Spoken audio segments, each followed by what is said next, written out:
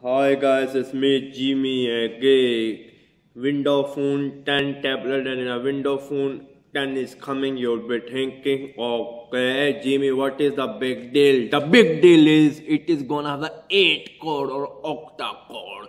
It's me Jimmy again. Subscribe to my channel. So the news is that the upcoming Windows Phone which properly will be launched by Microsoft and then maybe HTC, maybe Samsung we are not sure but definitely definitely we are going to receive our 8 core or octa core window phone and then basically that tablet which bot will, will be running windows 10 operating system and then a windows phone 10 basically i'm really excited i'm using my lumia 1520 to record this video i'm a windows phone fan but i hate windows 8.1 with passion but I love Windows Phone. Windows Phone is one of the best mobile operating system ever, much better than crappy Android, much better than the stupid o, uh, Apple iOS, whatever the hell the called. I hate. Basically, I love my iPad. You see, I'm using my iPad, but to be honest with you, I really hate basically on iphone basically just super weird operating system. And then android is